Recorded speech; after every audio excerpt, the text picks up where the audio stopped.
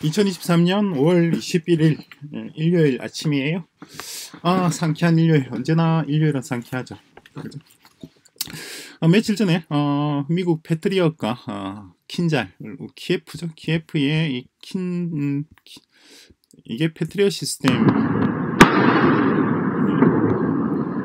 지금 와 엄청나죠. 그러니까 우크라이나 키예프에 러시아의 미사일 공격이 있었고 그걸 막기 위해서 어, 패트리엇 시스템이 동작을 했더랬어요. 그래서 요게 이제 패트리엇 요 파트입니다. 요게 지금 패트리엇 시스템 미사일 그 방어 요격 미사일을 발사하고 있는 장면인데 여기 한 발이 50억짜리예요.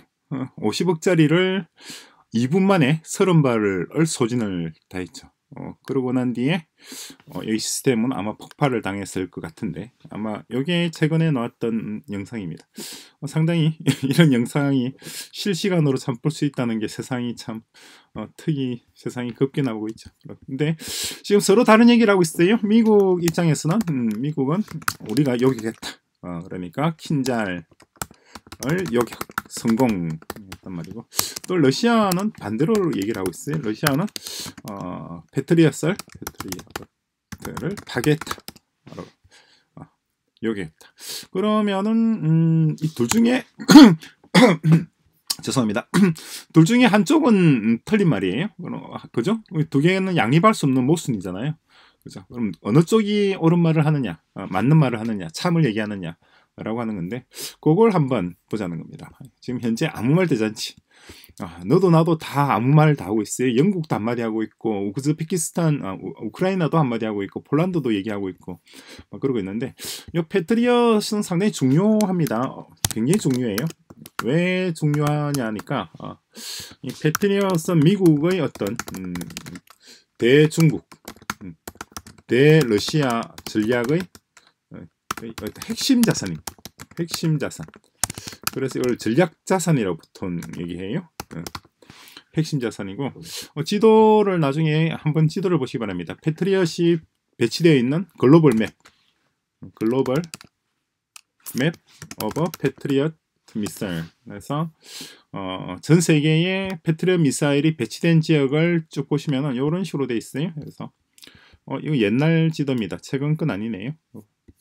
이렇게 중국과 러시아를 둘러싸고 이렇게 뺑 돌아가게끔 한국도 배치되어 있고 일본도 되어 있고 대만도 있고 그죠? 이렇게 뺑 돌아가면서 이렇게 둘러싸고 있어요. 그래서 러시아나 중국에서 미국 쪽을 향해서 뭔가 어, 볼리스틱 미사일이나 뭘 발사를 한다 그러면 그때 이 중간에서 차단할 수 있도록 어, 하는 역할. 그건 이제 사드가 주로 하는 역할이긴 합니다만은 어, 그러니까 어쨌거나 어, 전략 자산입니다. 가장 핵심 자산이고 가장 높은 기술이고 그리고 굉장히 비싼 자산이에요. 이게 한 1조 1조 5천억 정도 할 겁니다. 한 세트에 5천억 어, 한 세트. 이 세트 한 세트라 그러면은 이제 미사일 30발 정도 하고 레이더 하고 그리고 어 제어 장치 제어 통제하는 이걸 개혁이라 그래요. 개혁 시스템이라고 얘기합니다. 기어 장치 합해서 합해서 이래 이 세트로 1조 5천억 정도 돼 있고 우리나라에도 여기에 두 세트가 들어가 있죠. 상당히 큰 비싼 자산으로. 그리고 또 지금 이제 음 어, 핀란드하고 이 뭐예요? 스웨덴이 나토 가입하면서 핀란드와 스웨덴도 이걸 또 설치를 구매를 할 거예요. 구매할 거고 밑에는 지금 라트비아 에스토니아, 라트비아, 리투아니아, 발트 3국 얘네들도 설치를 할 거고 이번에 우크라이나에 또 들어갔죠. 설치했고 지금 여기는 표시되어 있지 않습니다만 폴란드죠. 폴란드도 좀 들어가 있어요. 그러니까 지도가 좀 옛날 지도입니다. 옛날 지도이고 최신 지도로 보신다 그러면 뺑 돌아가면서 그러니까 밑에 있는 인도와 여기 남 이, 이 뭐라 그래야 되나요? 베트남, 캄보디아, 미얀마, 라오스 여기를 빼고 여기를 빼고는 뺑 돌아가면서 이렇게 다 설치가 되어 있는 시스템입니다. 다 설치되었거나 설치를 하고 있거나 둘 중에 하나예요. 이 상당히 핵심 자산이고 만약 얘가 어, 성능을 제 성능을 발휘하지 못한다라고 한다 그러면은 그러면은 끝난 겁니다. 그러면 이제 미국은 말 그대로 끝장난 겁니다. 더 이상 의미가 없어요. 물론 이제 패트리엇하고 사드랑 비슷하긴 하지만 좀 또 다르긴 하죠. 어, 사드 우리나라에도 와 있는 사드 같은 경우 사드는 뭐 재미삼아 얘기를 하죠. 뭐 사실 우리 저는 개발자니까 어, 군사 쪽으로는 전문가가 아니고 뭐 전문가일 필요도 없습니다만 상식적으로 알고 있는 수준만 얘기를 하자면 사드는 얘는 ballistic 미사일 그러니까 어, ballistic ballistic 미사일 방어 시스템입니다. defense defense 시스템 시스템 그리고 패트리어트는 ballistic이 아니고 크루즈 미사일 방어 시스템이에요. 크루즈하고 어 미슬 방어 시스템인데 차이점이 뭐냐라고 하는 건데 어 직선으로 여기서 여기서 여기까지 직선으로 삥 날아가면 그거는 크루즈 미사일이고 그러지 않고 대기권 밖으로 나갔다가 다시 뚝 떨어져 내려오는 공처럼 원을 그리는 것 원을 그리니까 볼이잖아요 볼. 볼. 볼은 동, 둥글단 말이죠 둥근 공처럼 대기권 밖으로 나왔다 다시 떨어지는 거는 이제 대륙간 탄도탄이라고 보통 ICBM이라고 표현하죠 ICBM 요걸 막는 게 사드예요. 그리고 패트리엇은 크루즈 직선으로 날아오는 뭔가를 막는 것이니까. 얘는 근거리 방, 방어 체제고 얘는 장거리 원거리 방어 체제. 대륙간 탄도탄을 막는 목적이에요.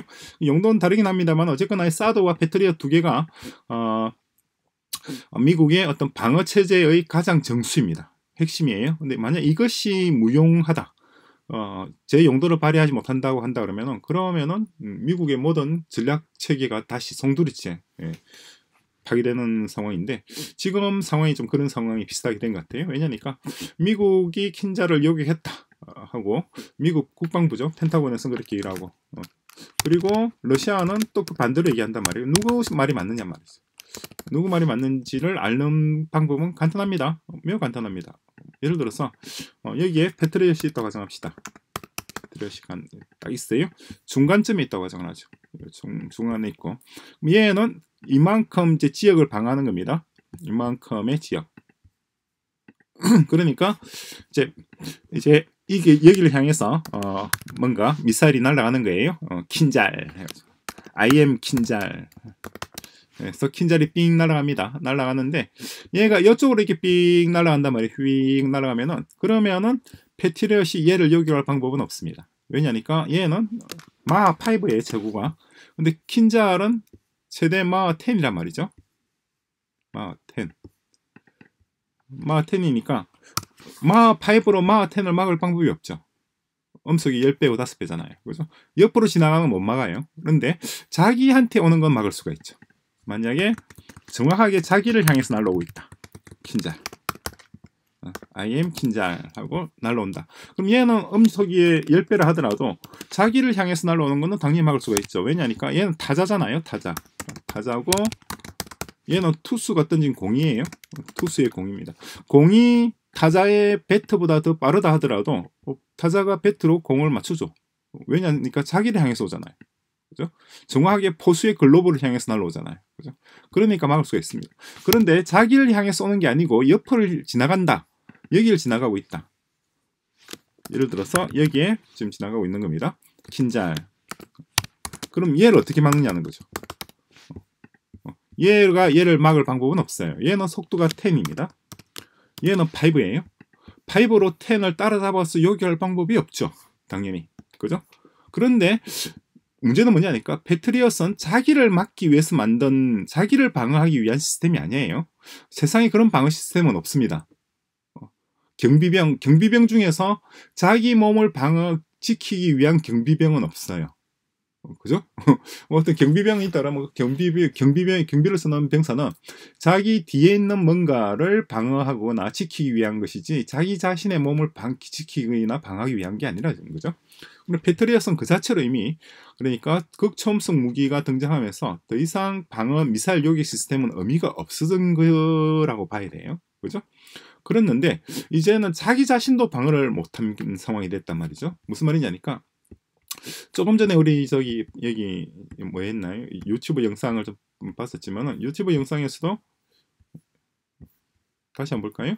지금 자, 요게 한 발 한 발당 이게 50억짜리를 2분 동안에 30발을 발사를 한 겁니다. 그럼 다 소진을 해버린 거예요. 그럼 얘가 가지고 있는 미사일은 1,500억 원어치 그러니까 한 여기 이 장소에 지금 1,500억 원어치의 미사일이 있는데 그 30발을 소진을 해버리면은 2분 만에 소진했죠. 그럼 얘는 더 이상 방어할 게 없어요. 그죠?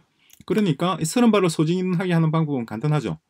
어, 그냥 저렴한 미사일, 매우 저렴한 킨잘이 아니라 야혼트 같은 매우 저, 비슷하지만은 저렴한 야혼트 미사일 같은 것을 날리면 되는 거예요. 얘를 한 30발 날리는 거예요. 얘는 마하 뭐 3미나 뭐5 정도 수준으로 날아가겠죠. 날아가서 그럼 어쨌거나 패트리어트는 얘를 막기 위해서 얘를 안 막으면은 얘가 파괴되잖아요.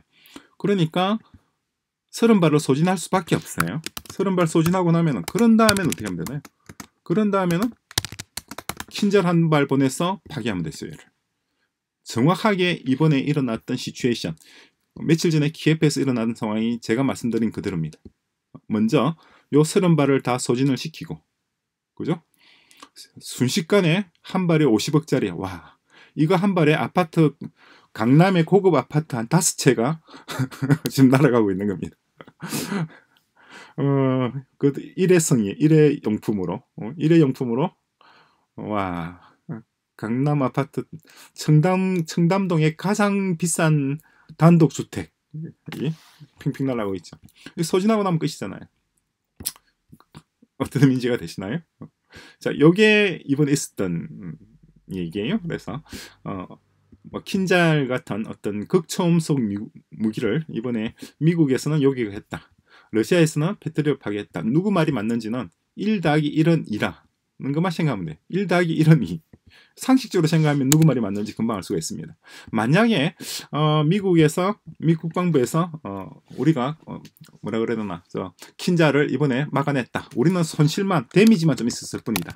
라고 하는 말을 액면 그대로 받아들이면은 아 나는 1 더하기 1은 2가 안 돼. 2라는 걸 이게 내 머릿속에서는 계산이 안 되는구나 라고 생각하시면 돼요. 중요합니다. 1 더하기 1은 2라는 것만 생각해요. 뭐 자기가 자기 내 머리가 1 더하기 1은 2다 하는 걸 정도로 파갈 정도는 된다. 라고 하면은 미국이 하는 얘기는 다 뻥입니다. 다 뻥. 다, 다 아무 말 대잔치에 아무 말. 아무 말. 어, 하루도 안 지나서 다 들통날 얘기를 막 쏟아내고 있는 지금 그런 상황이에요. 자, 그리고 또 말 나온 김에 이번에 어, 또 키예프에서 어, depleted ura depleted uranium 요거 언제 한번 얘기했었죠. 우라니움 탄. 이걸 한국말에는 이제 열화 우라늄 탄이라고 표현하는데.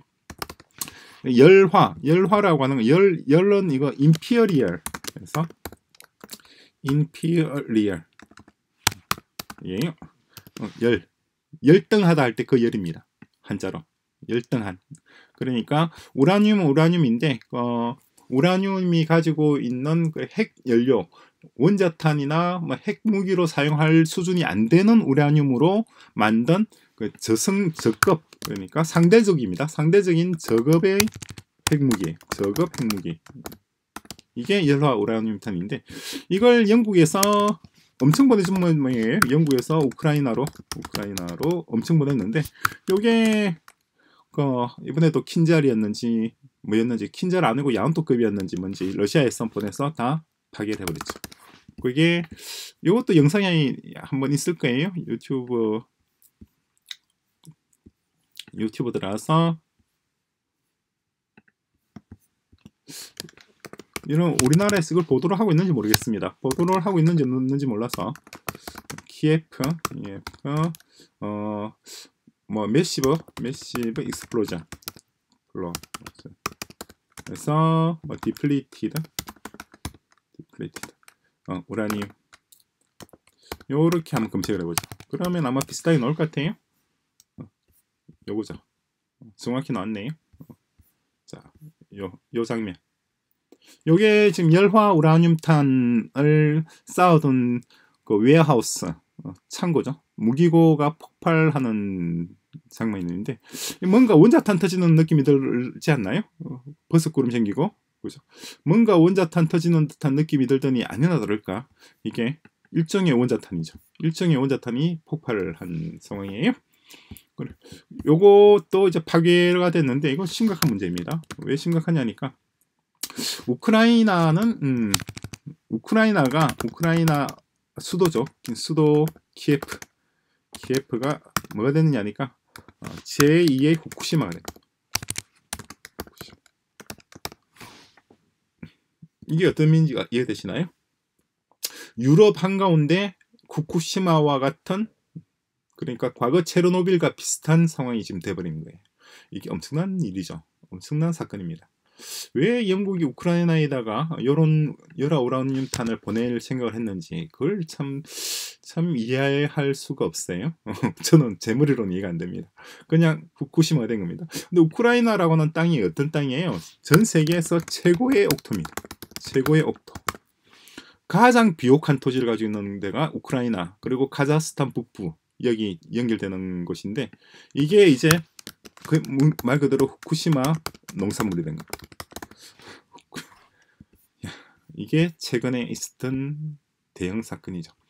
음, 마지막으로 한마디만 더 얘기를 하자면 자 이런 상황입니다. 미국 패트리어트와 러시아 킨잘 간의 진실 게임 누가 옳은 말을 하는지는 1 더하기 1은 2 그것만 생각하면 어느 쪽이 맞는 말을 하는지 바로 파악을 할 수 있는 상황인데 이 상황에서 한국의 국군 한국 50만 병력 어, 전력이라고 할까요? 전력 전력 자산의 핵심 한번 생각해 볼 필요가 있죠.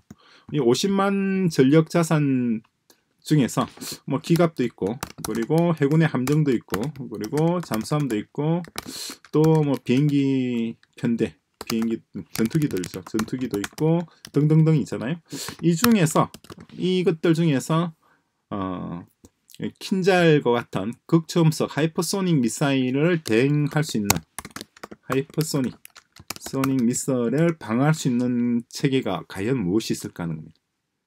이 중에서 제가 보기에는 딱 하나 잠수함은 피할 수 있어요. 잠수함은 생각보다 이 잡기가 쉽지가 않습니다. 어, 제가 보기에 잠수함을 제외한 나머지 50만 보병. 만 보병. 기갑. 우리 한국도 기갑 전력이 상당하죠. 그리고 자주포. K21이라 그러나요? K21 자주포 등등 중에서. 이 중에서 잠수함을 제외한 나머지는 실제 전투에서 상대방이 극초함성 무기 그러니까 어, 킨잘 정도 수준의 극초음속 무기. 킨잘이 비싸요 킨잘 한 대 가격이 100억이 넘습니다 100, 한 100억보다 어차피 100억 정도 할 거예요 킨잘 근데 야혼터는 좀 싸죠 야혼터는 한 10억 정도면 장만될 겁니다 근데 야혼터나 킨잘 정도의 무기를 갖추고 있는 국가와 만약에 전쟁이 일어난다고 한다면 이 중에서 쓸모 있는 거는 얘 하나 나머지는 다 쓸모가 없습니다. 전투기도 쓸모가 없어요. 쓸모가 없고. 그러면 이 하이퍼소닉을 막을 수 있는 무기 체제는 없는가라고 했을 때 있죠. S400. 제가 알고 있는 범위 내에서는 러시아의 S400이 유일합니다. 얘는 마하10까지 방어를 가능해요. 마하10. 그러니까 극초음속 무기를 막기 위해서는 방어 체계도 극초음속이어야 돼요. 상식적으로 그렇잖아요. 그죠? 상식적으로 토끼를 잡으려면 토끼만큼 빨라야 되겠죠. 사냥개가 토끼를 잡는데 사냥개의 속도가 거북이 속도다. 말이 안 되는 거죠. 근데 극초음속 무기를 어, 따라잡을 만한 방어 체계를 갖춘 나라는 극초음속 무기를 만들 수 있는 나라밖에 없죠. 또 상식적으로 그렇잖아요. 그 나라는 누구예요? 중국하고 러시아밖에 없습니다. 극초음속 무기를 만들 수 있는 국가가 중국, 러시아밖에 없고 따라서 이 방어 체제를 만들 수 있는 나라도 중국, 러시아밖에 없고 러시아의 S400이 유일하게 유일한 극초음속 방어 체계. 극초음속 체계. 제가 알는 범위 내는 그래요. 얘는 마하 10까지. 이미 얘의 속도가 마 10. 그러니까 극초음속 무기로서 극초음속 무기를 잡는 겁니다. 근데 얘네들도 100% 잡을 수는 없어요. 말 넘김에 몇 가지를 말 얘기를 해봤습니다.